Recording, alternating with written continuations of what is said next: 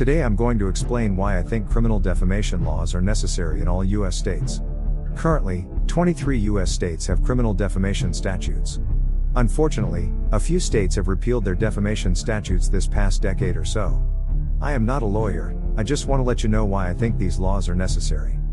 In states without these laws, people can be defamed without consequence at times. If the person who is defaming you owns nothing and has no money, it would be very difficult to collect civil damages from them. Most states have a one year statute of limitations for defamation cases. The one year period starts when the defamatory statement is uttered or published. If the victim is unaware of the defamation, they will have no recourse if they don't file a lawsuit within a one year period. Once again, that's one year from the offense, not one year from the date the victim becomes aware of the damage caused by the defamatory statement. I don't know about all 50 states, but this is how it works in my home state. The lack of criminal defamation laws allow people who own nothing to basically get away with defamation. In states where slander and libel are criminal offenses, they tend to be Class A misdemeanors, which seems to be too light of a punishment for a crime like this. Put yourself in the victim's shoes for a second. Let's say I tell people in secret that I found CSAM on your computer one day. If you don't sue me within one year of the defamatory statement, you're screwed. This is something that is being done behind your back. If you happen to realize what happened and file a lawsuit, good luck collecting money from the average US citizen. Victims should have the ability to press criminal charges in this case. The following screenshots are from EFF.org and provide an overview of defamation cases. We're going to go over the basics of defamation law and show you what is and what isn't defamation.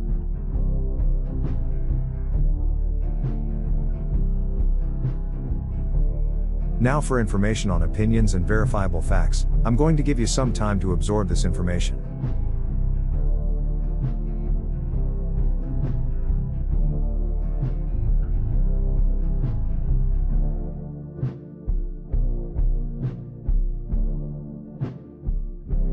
Defamation laws are different for private citizens and public figures.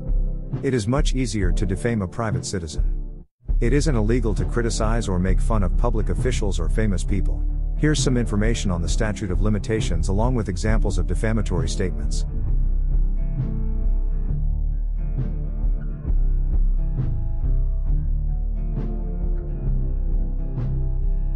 And here's some examples of per se defamation. Not every state has per se defamation laws. False light statements.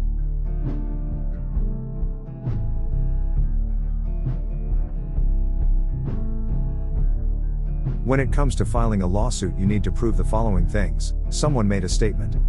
That statement was published. It was false and caused the plaintiff harm. And the published information doesn't fall in a privileged category. For more info, read these slides.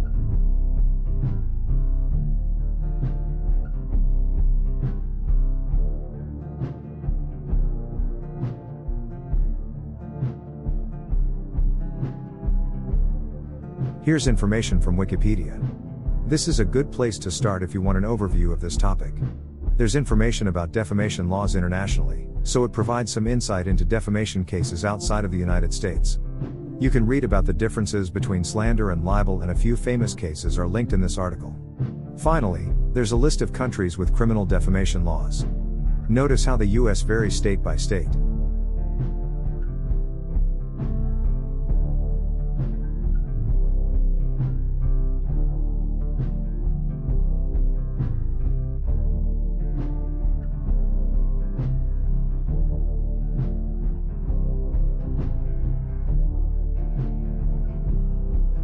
If the statements made are true, they are not defamatory. Truth is the best defense in defamation cases. Here's some information on privileged information and actual malice in defamation cases. Check out the differences between absolute privilege and qualified privilege along with the following defenses to defamation claims. The defenses are definitely worth reading.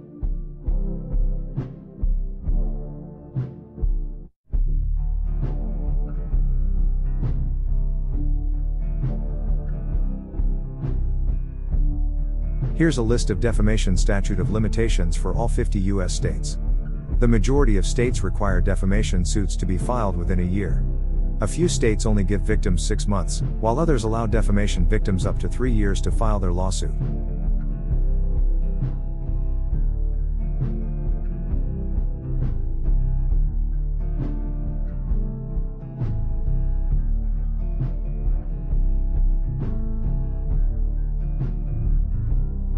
Here's a map of the United States. The red states have criminal defamation laws. The light blue states had laws that were recently repealed.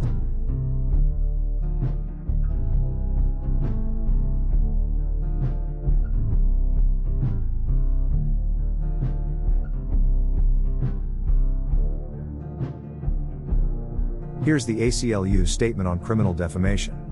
I have to disagree with their position. Defamation is more than just saying mean things. Defamatory statements can cause serious harm and in most cases they go unpunished, especially if the defamatory statements are made by average Joes. The ACLU says civil lawsuits are fully capable of addressing the harms caused by defamation. I disagree, criminal defamation laws need to be passed in all 50 states. It takes a lot of time and costs a lot of money to file a defamation suit. What could defamation victims do if the perpetrators have no assets or money? These laws are even more important nowadays since social media, Reddit, and YouTube can allow someone to make defamatory statements to a large group of people without consequences.